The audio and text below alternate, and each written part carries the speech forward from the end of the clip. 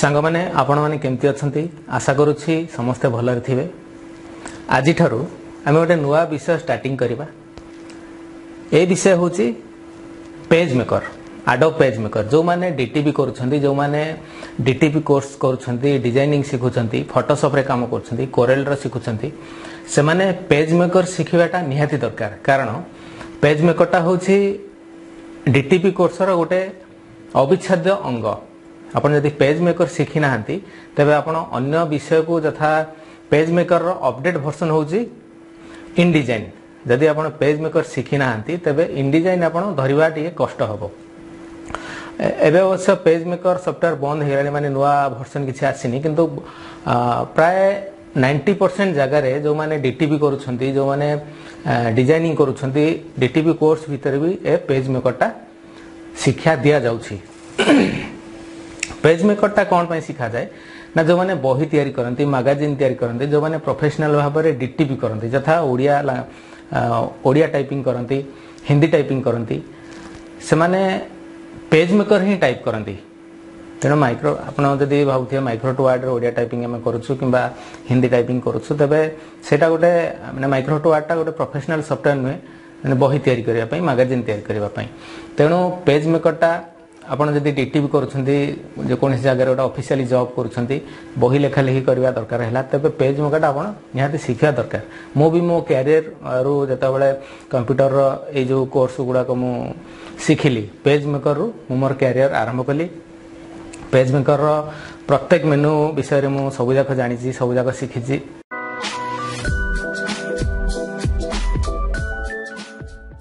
page ମେକରର ଏଇ ଯେଉଁ video ଗୁଡ଼ାକ ଆପଣ ଦେଖିବେ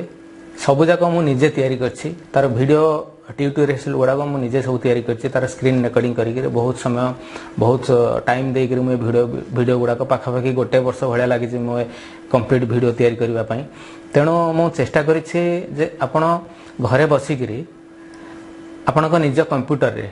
ନିଜ ମୋବାଇଲ ଫୋନରେ ବି ମୋର ଭିଡ଼ିଓ କ୍ଲାସ୍ ଗୁଡ଼ାକ ଦେଖିକିରି ଆପଣ କୌଣସି ଇନଷ୍ଟିଚ୍ୟୁଟ୍କୁ ନ ଯାଇକିରି ଆପଣ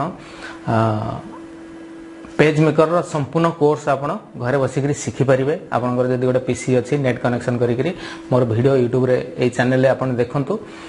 পেজ মেকরর কমপ্লিট কোর্স সেথে পাইবে পেজ মেকরর যে মেনু গুড়াক অছি সে সবু মেনু গুড়াক বিষয়ে মু আপনার কহিছি প্রথমে মেনু অছি ফাইল মেনু তারপরে edit menu layout menu type element utilities view windows মাত্র এই আঠটা মেনুকু নেইকি পেজ মেকর সফটওয়্যার তৈরি হয়েছে এই আঠটার এই আখড়া মেনুর সবু ফসন গুড়াক স্টেপ বাই স্টেপ সবু ভিডিওরে কী আপনার মূলর শেষ পর্যন্ত দেখুন আপনার সবুজাক জাঁপারি সবুজাক শিখিপারি সবুজাক দেখলা পরে আপনার কৌশি কম্পুটর ইনস্টিচ্যুট যা দরকার নাই আপনার কেবল কমপ্লিটলি দেখুন আপনার যদি ডিজাইনিং করছেন আপনার যদি বহি লেখালেখি করছেন ଆପଣ ଯଦି ଓଡ଼ିଆରେ ଲେଖାଲେଖି କରୁଛନ୍ତି ତେବେ ପେଜ୍ ମେକର୍କୁ ବ୍ୟବହାର କରନ୍ତୁ ପେଜ୍ ମେକର୍ ଗୋଟେ ବହୁତ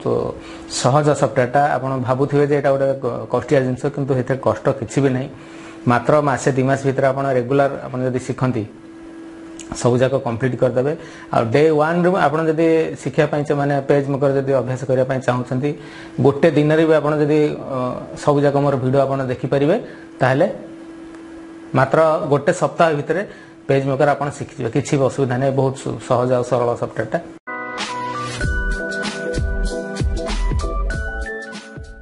ଏ ଯେଉଁ ଭିଡ଼ିଓ କ୍ଲାସ୍ ଗୁଡ଼ାକ ଆପଣ ଦେଖିବା ପାଇଁ ଯାଉଛନ୍ତି ବା ମୁଁ ଯେଉଁ ଅପଲୋଡ଼ କରିବା ପାଇଁ ଯାଉଛି ସେସବୁ ଭିଡ଼ିଓ ଗୁଡ଼ାକ ମୁଁ ତାକୁ ରେକର୍ଡିଂ କରିଥିଲି ଦୁଇ ହଜାର ପନ୍ଦର ମସିହାରେ ଦୁଇ ହଜାର ପନ୍ଦର ଦୁଇ ହଜାର ଷୋହଳ ମସିହାରେ ରେକର୍ଡିଂ କରିଥିଲି ଆଜିର ଯେଉଁ ପେଜ୍ ମକର ଆଜିଠାରୁ ମୁଁ ଅପଲୋଡ଼ କରିବା ପାଇଁ ଯାଉଛି ଏଇଟା ହେଉଛି ଯେଉଁ ମେନୁ ଗୁଡ଼ାକ ରହୁଛି ଷ୍ଟାର୍ଟିଂ ଷ୍ଟାର୍ଟିଂ ରହୁଛି ସେ ମେନୁରୁ ଆପଣ देखिए प्रथम मेनु जो अच्छी जो आठटा menu रोच file menu edit menu layout menu type element utilities view तो प्रथम आम फाइल मेनु रु स्टार्ट करवा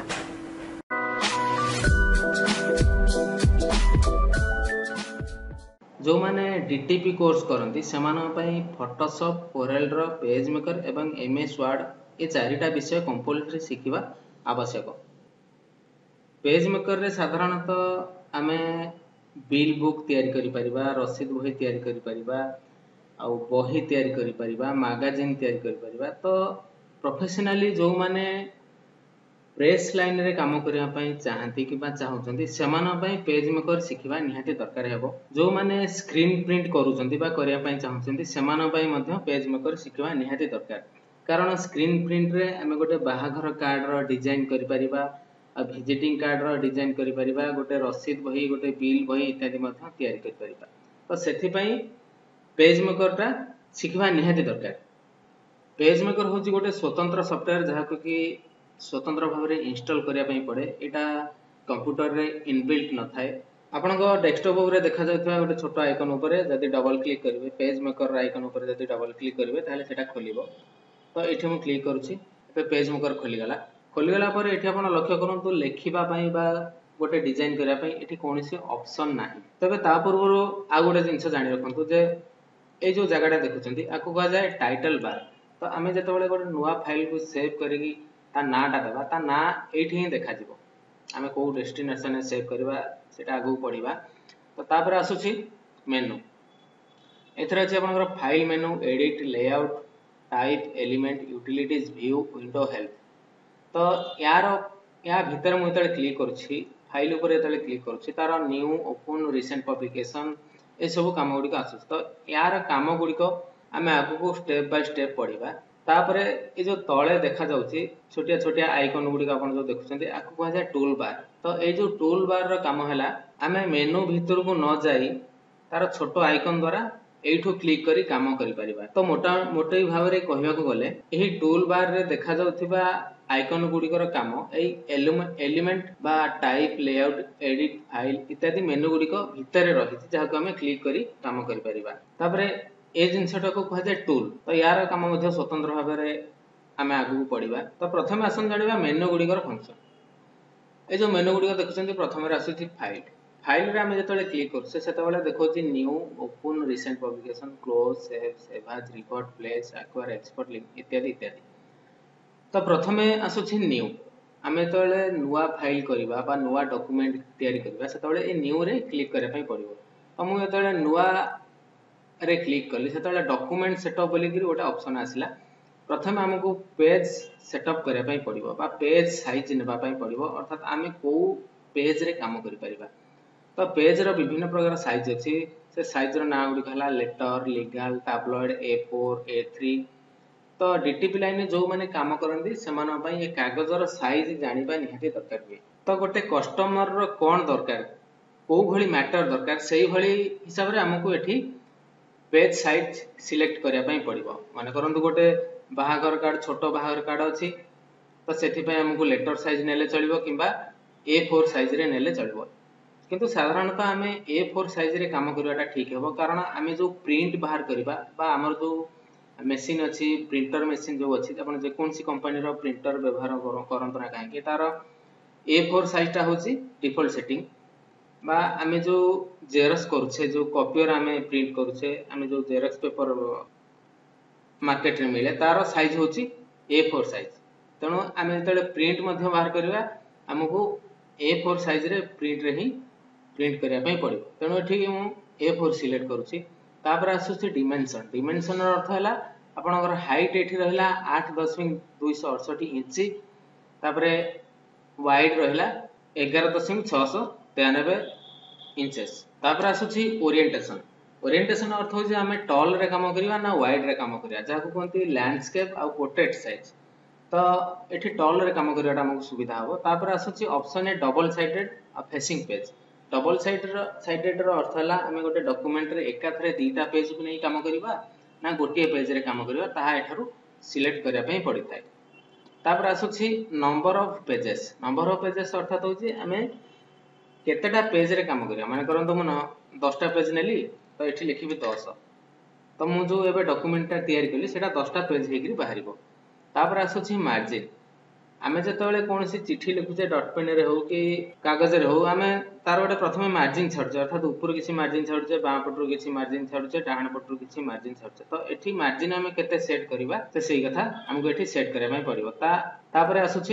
आउटपुट रिजोल्यूसन रिजोल्यूसन जहाँ अच्छे छाड़ दिखाँ कंपोज टू प्रिंटर यहाँ जहाँ अच्छे छाड़ दिखाँ तो ओके क्लिक करूँ ओके क्लिक कालापर यू मैक्सीमाइज करदे ये क्लिक करी तो देखो टाइट টাইটল বারে আপনার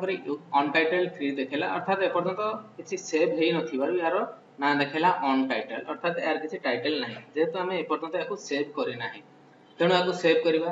ফাইল কু গলি তাপরে এটি যে সেভ অছি এটি মু ক্লিক করছি তাপরে এটি ডেস্টিনেশন মাগুছি যে আমি কেউ জায়গায় সেভ করা মনে করতু মু এইটি ক্লিক করছি তো এটি ডি ড্রাইভরে মু সেভ করছি তাপরে